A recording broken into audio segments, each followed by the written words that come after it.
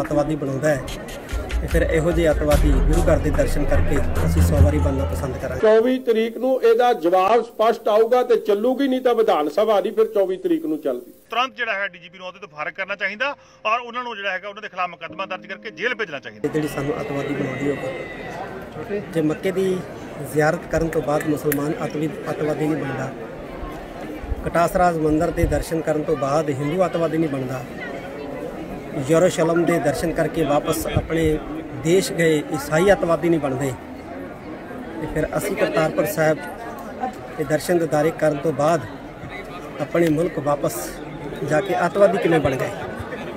ਜੇ ਗੁਰੂ ਘਰਾਂ ਦੇ ਦਰਸ਼ਨ ਦਿਦਾਰੇ ਕਰਨਾ ਸਾਨੂੰ ਅੱਤਵਾਦੀ ਬਣਾਉਂਦਾ ਹੈ ਤੇ ਫਿਰ ਇਹੋ ਜਿਹੇ ਅੱਤਵਾਦੀ ਗੁਰੂ ਘਰ ਦੇ ਦਰਸ਼ਨ ਕਰਕੇ ਅਸੀਂ 100 ਵਾਰੀ ਬਣਨਾ ਪਸੰਦ ਕਰਾਂਗੇ। ਇਸ ਤਰ੍ਹਾਂ ਡੀਜੀਪੀ ਸਾਹਿਬ ਦੇ ਦੇ ਬਿਆਨ ਦੇ ਨਾਲ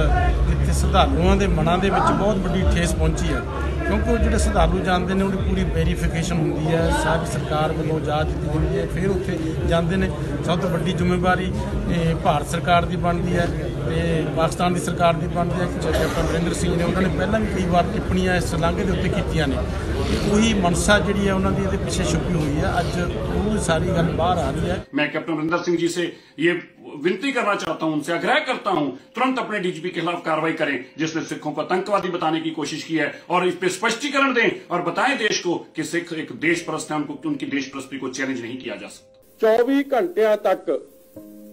ਆਪ ਦਾ ਸਪਸ਼ਟੀਕਰਨ ਤੇ ਕੈਪਟਨ ਅਮਰਿੰਦਰ ਸਿੰਘ ਤੋਂ ਲੈ ਕੇ ਸੋਨੀਆ ਗਾਂਧੀ ਦਾ ਇਸ ਮੁੱਦੇ ਤੇ ਸਪਸ਼ਟੀਕਰਨ ਨਹੀਂ ਆਇਆ ਤੇ ਅਸੀਂ ਕਾਂਗਰਸ ਦੀ ਇਸ ਸਰਕਾਰ ਦੀ ਘੇਰਾਬੰਦੀ ਸ਼ੁਰੂ ਕਰਾਂਗੇ ਵਿਧਾਨ ਸਭਾ